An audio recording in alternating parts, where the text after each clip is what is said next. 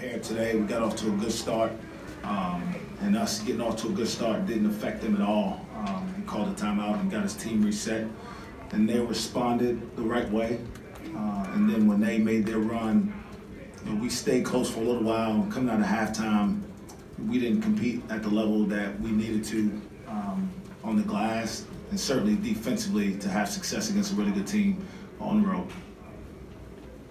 Focus has been a, a, point of issue for you guys kind of during this last stretch since Big 12 play really began. Have you been able to put your finger on it in any way? Um, not necessarily. Um, there's a lot of factors. Um, you know, you know, part of it is I've got to do better helping them understand that every night's a battle, like a true grind. And regardless of how you do in the last game, you got to be able to bring that same mindset to the next one. Uh, and obviously, we haven't have not done that. Um, and, and, so it's on me to get it corrected. Uh, and I feel confident that my staff and I uh, will identify ways to finish better here in the next couple weeks. Coach, how much of an impact did Mitchell Solomon picking up his third foul have on your team? Yeah, I mean, it's, he's our most impactful player. It's not close. Um, you know, it's so telling that, you know, whatever we're down 20 points in the last minute of that game, and he does what I'm not sure anybody else on the court would do is dive on that ball just because it's the right thing to do, because it means that much to him to play the game the right way, to commit to giving everything he has.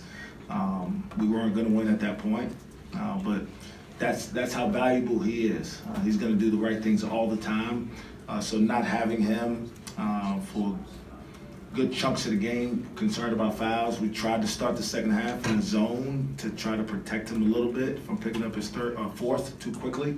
Um, and, and obviously that let them get loose from three-point range a little bit. So, um, but yeah, not having Mitch is a big deal. At the same time, we've got other players who need to, you know, pick up the slack a little bit when he's not available, and we didn't have that today.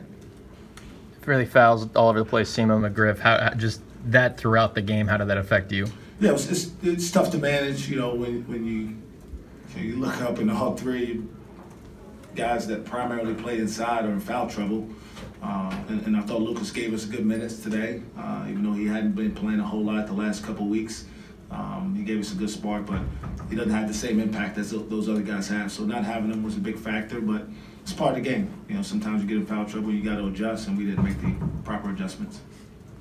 Does this, does this conference deserve eight bids? Um, yeah, I mean, I said it maybe two months ago now when, when this thing first started. I think I think every team in this league is capable of having success if they get in the tournament.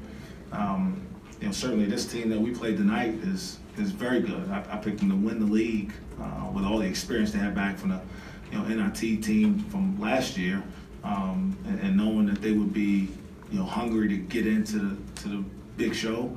Um, but yeah, I think this is the most competitive league. Uh, we weren't overly competitive in the second half, but I think it's the most competitive league in the country, and you know, certainly from a percentage standpoint, probably deserve to have the most teams in of any league. You guys start seven for ten and then fifteen for fifty. From there, what changed in your eyes?